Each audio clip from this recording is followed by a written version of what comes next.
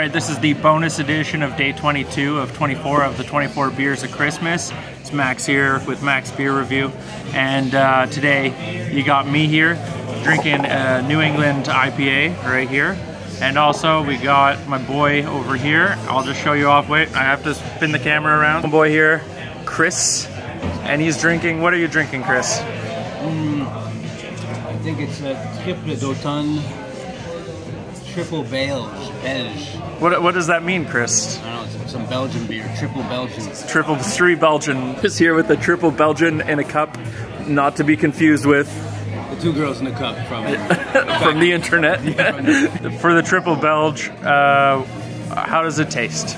Give us a give us a review from one to five. One to five, like a three and a half. Three, three and a half, yeah. three and a half. That's good. It's a pass. It's a good pass. It's a good pass. Would you recommend it? Yeah, it's not bad. Yeah. I would offer it to fellow enthusiasts. That's good. Okay. And uh, what else is there do I put on the review? What are the flavors? What are the flavors that you're getting?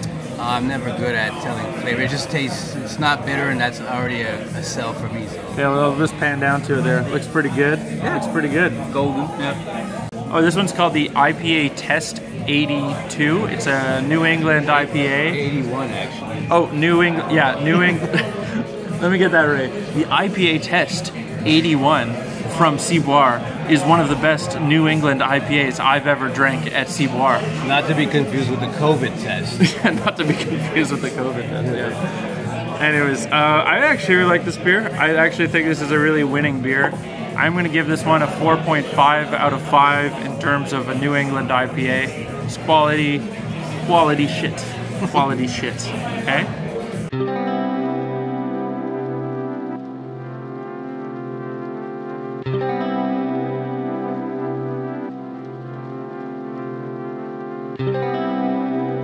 bonus feature here. This is a red beer. Uh, my second beer is called the Festive Sour, Le Sour Festif. Uh, I have no idea what it tastes like. It says it's supposed to have some raspberries in it. I'm gonna give it a taste right now, see what it tastes like.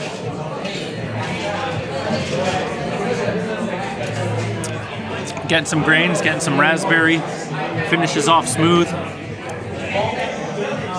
I'm gonna give it the immediate rating right now of a 3.5. It doesn't compare to the New England IPA that they had earlier. It had a lot better flavors on it. This one is beautiful to look at. It's a nice red thing, but uh, the taste, the taste is what matters, and it's not there. All right, that was the bonus. That was the bonus track on day 22.